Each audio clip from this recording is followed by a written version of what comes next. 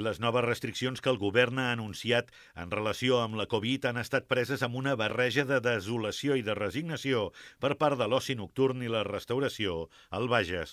Quan diumenge a la matinada va tancar portes al Cielo, una de les discoteques del centre de Manresa, poques pensaven que ja no tornarien a obrir fins a l'any que ve. Pocs s'ho pensaven, però el cert és que, un cop s'ha produït, tampoc els ha vingut de nou cosa que no treu que tot plegat signifiqui un trasbals i una pèrdua econòmica molt important, sobretot degut a la immediatesa de les festes. Esperen que, si la justícia ho permet, com a mínim les administracions sàpiguen compensar-los. Bé, també, de fet, tampoc no ens ha agafat massa per sorpresa perquè ja es veia, ja es veia venir el que, que sempre eh, queda, sempre és el mateix sector el qui en rep a últim moment, més que res també són, és per les dates que són.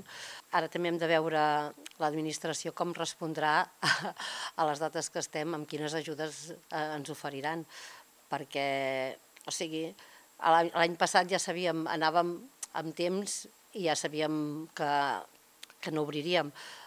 A dia 20, tancar-te, eh, o sigui, és el, és el trasbal aquest que, ostres, és una pèrdua molt gran. Tornar a posar els treballadors a l'ERTE, a menjar-te les compres que has fet fins no saps quan.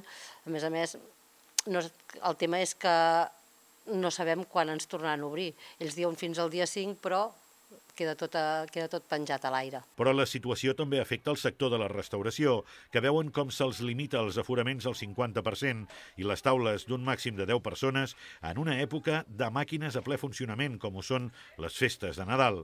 Els restauradors denuncien que la Generalitat no els ha comunicat les noves decisions amb marge de temps suficient i que les neveres ja són plenes i les reserves pels dies forts de les festes ja estan tancades. I moltes d'elles s'acabaran perdent, a banda que els restauradors restauradors hauran de triar quins clients mantenen reserves i quins no, una tasca de policia que no els pertoca. Contem que si les taules són que la majoria és més gran de 10 persones, llavors clar, aquesta gent no hi cap, llavors pues, pues, que només pots cabre, i més, només tenim el 50%, llavors doncs només hi caben a, a les taules petites. I bé, el que passa que es cau pues, en aquest cap de setmana, que és el Nadal, i ja s'han anul·lat moltes reserves, molta gent eren 15, 16 persones, eh, ho hem tingut que anul·lar. Ara ens toca el passaport Covid d'aforament, el 50% d'aforament, el passaport Covid, el 50% d'aforament, i bé, i màxim 10 persones, o sigui que estem bastant retallats. De fet, el gremi d'hoteleria no veu amb bons ulls ni les restriccions que els afecten a ells ni les del sector de l'oci nocturn. No ens semblen bé.